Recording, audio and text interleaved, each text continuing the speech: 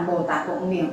các im la người khen phẩm thứ tám vui la cùng quỷ vương huấn tập lúc đó trong giải núi thượng vi có vô lượng quỷ vương cùng vui la lên cung trời đá lời tới chỗ đức phật các quỷ vương đó là đại ác quỷ vương đa ác quỷ vương đại trận quỷ vương bạch hộ quỷ vương địa hộ quỷ vương xích hộ quỷ vương điểm quang quỷ vương lan nha quỷ vương đàm thủ quỷ vương phù thạch quỷ vương chủ hao quỷ vương chủ hòa quỷ vương chủ phượng quỷ vương chủ tài quỷ vương chủ xuất quỷ vương chủ cầm quỷ vương chủ thủ quỷ vương chủ nhị quỷ vương chủ sản quỷ vương chủ mạc quỷ vương chủ tịch quỷ vương chủ hiểm quỷ vương tám một quỷ vương tự một quỷ vương mục một quỷ vương kỳ lợi xuất vương đại kỳ lợi xuất vương kỳ lợi xuất vương đại là kỳ lợi xuất vương ana ra vương đại ana ra vương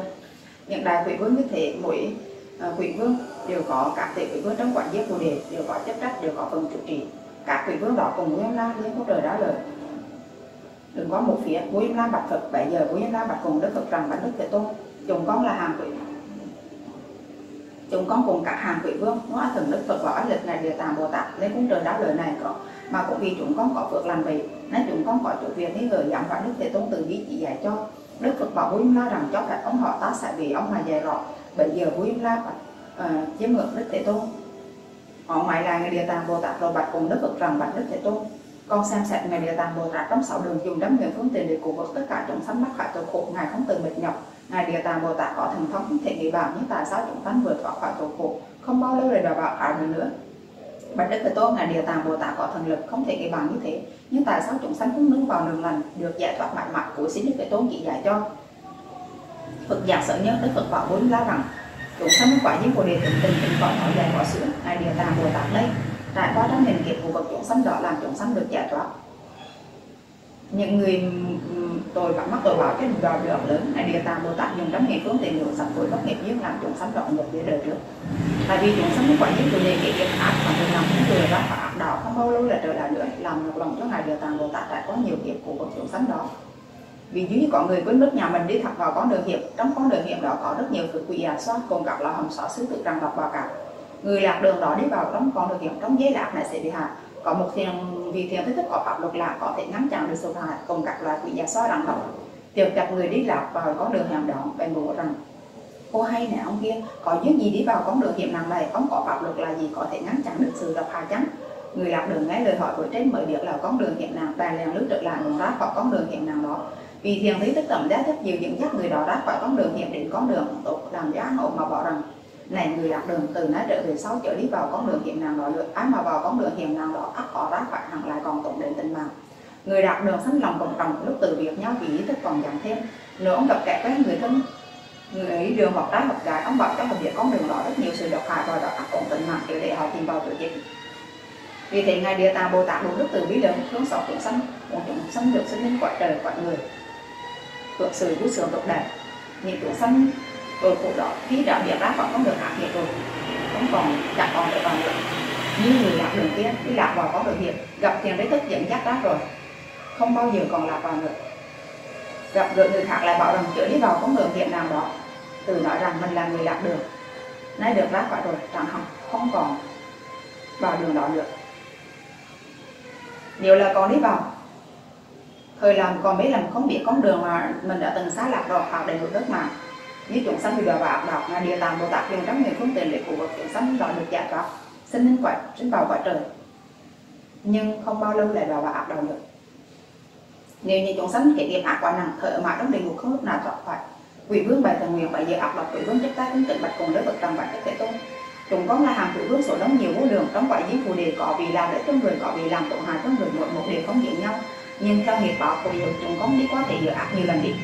Đi qua sân nhà thành tập xóm làm đường vườn buồn nhà thấy kẻ trai người gái nào làm việc làm bằng sợi lông tóc hoặc trái một loại pháp một bộ cải chủ khương chủ khoa cùng dường từng phật bồ tát. Đọc tùng cương kinh độ khương độ khoa cũng dường một bề kỳ một cái kinh. Thời hàng thủy vương chúng con làm lệ người đó nhất định lệ đức phật thời quả cử hiện tại vị lai. Chúng con truyền cả hàng thủy vương có hai lực lượng đều có chức trách đức đa đều có hộ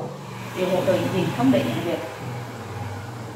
Mình không để những việc uh, bệnh tật hiện nghèo những sự không vừa ý đến nhà người đó họ để vào cửa. Đức Phật khánh quỷ vương rằng hay thay hay thay cả ông cùng nguyên đã ủng hộ người thiện nam trần lực ta cũng truyền phạm vương để thích hộ về cả ông.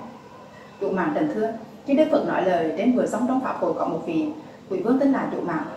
bạch cùng chấp tác cũng tỉnh bạch cùng Đức Phật rằng bạch Đức Thế Tôn bộ nghiệp duyên của con là cá chọn tuổi thọ của mọi người trong quả giết của đề khi sanh cái tự con đều quá biệt đó nhưng vì um, cứ theo nơi bụng nguyện con tất cả chúng sanh đều lớn lớn vì chúng sanh không hiểu con đi cứ sanh cái tự chẳng nữa một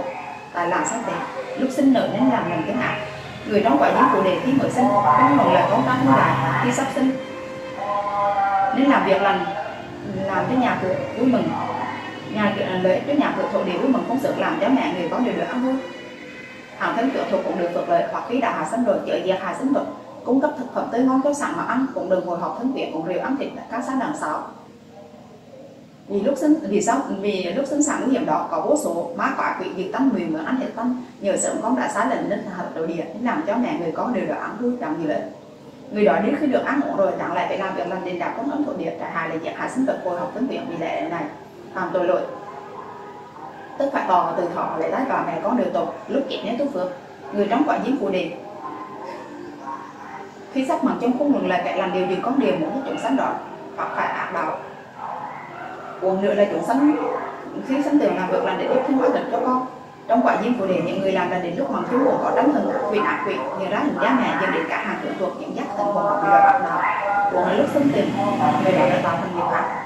Bạch đức thế tôn những chúng sanh khi sắp bằng chung thần hồn, thần thức hôn mê. Không luận lệ là điều giữ cái đèn mắt cùng phát không thể ngay gì hết. Hàng thân tượng thuộc của thân viện đó nên làm cái cũng dường, chỉ tánh cổ thực. Nghiệm danh sinh nghiệm danh hiệu trước phật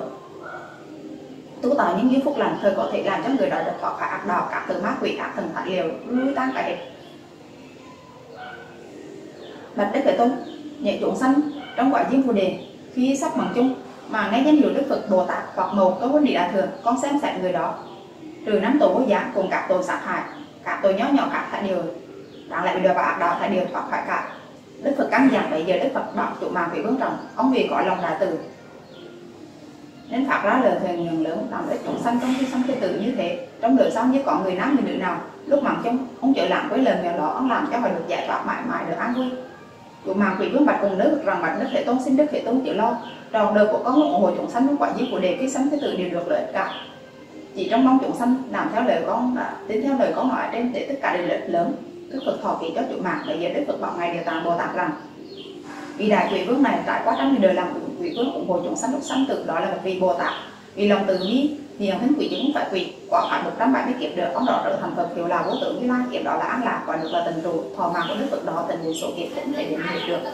Này địa tạng bồ tát nhận sự của đại quỷ vương đó cũng thể bị bằng như thế, tất cả hàng trời người được về đối đó cũng thể hàng lượng kính địa tạng bồ tát nguyện phẩm tám thế